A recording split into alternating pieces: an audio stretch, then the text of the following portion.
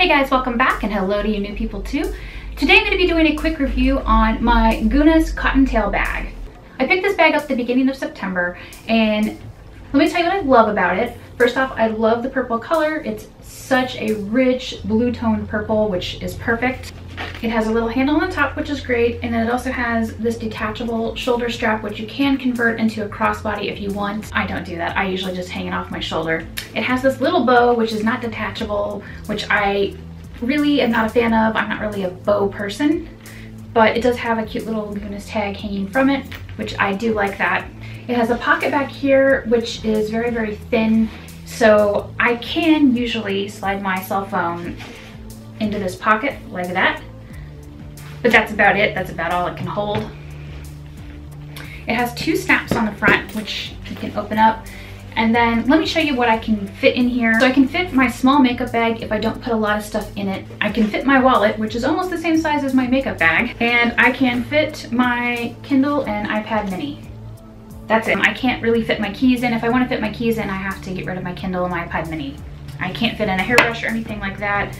It has like this little zipper pocket here in the center, which, you know, I never even noticed till like a month ago because it's such a tiny, tiny space. And basically inside it's got um, the space here and the space here, but because it's so small, basically my wallet and makeup bag go here, my Kindle goes here. It does also have a pocket here that you can use for like business cards or lip balm or whatever you you want to use it with. I love the color. I do love the structured design. I love the straps. I don't like that this doesn't come off. Um, I actually don't like how the snaps work because often when I'm out in public, if I open up my purse so I can like pay for something at the grocery store and then go to close it, like then I have to actually literally pick the purse up like this to line up the snaps so that they'll go in. So to me, the snaps don't work quite the way I expected them to. I, I I know they're slightly magnetic, but not magnetic enough if I have to like take the time to carefully line them up. That's kind of something I don't like. I'm also really not used to carrying such a small bag, but I got it because I don't always need to carry my big bag. I usually just want to carry my big bag, which is the Gunas Naomi. What I also like about this is I bought during one of the big Gunas sales, so I got like I think 20 or 25% off. So I got this bag for like $50 after after sale.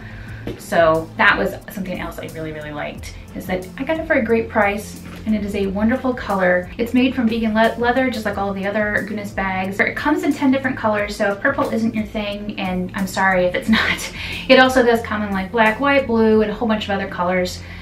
This is made from recycled materials and coated, coated in 18 karat gold and the bag lining on the inside, which as you can see, it's like a dark brown for this, is also made from recycled materials. So I really love the attention to detail. See, here's the snap, me having problems with the snap.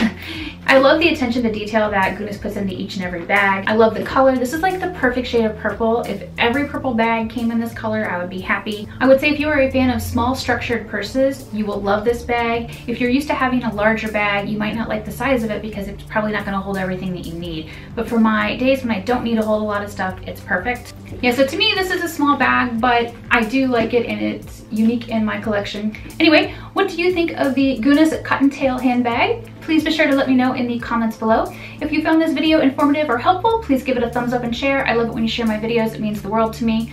And if you haven't already, go ahead and click that subscribe button so you don't miss my next video. Thanks so much for watching.